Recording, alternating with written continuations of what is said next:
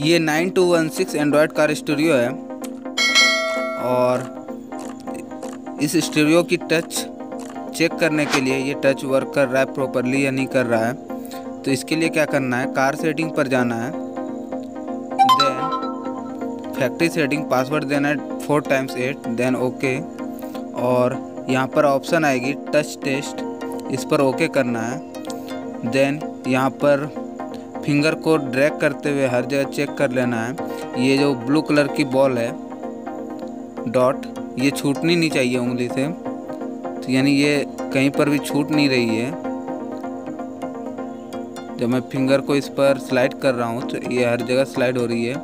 यदि ये ब्रेक हो हो के छूट छूट के चलेगी तो समझ जाना टच में प्रॉब्लम आ रहा है। इस टाइप से चलेगी, बीच बीच में ब्रेक होगा।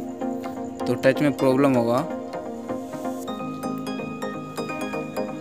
यहाँ पर आप देख सकते हो, ये बीच में ब्रेक हो रही है। तो इस टाइप से यदि आएगी, ये ब्लू बॉल तो समझ जाना है कि ये टच में प्रॉब्लम है।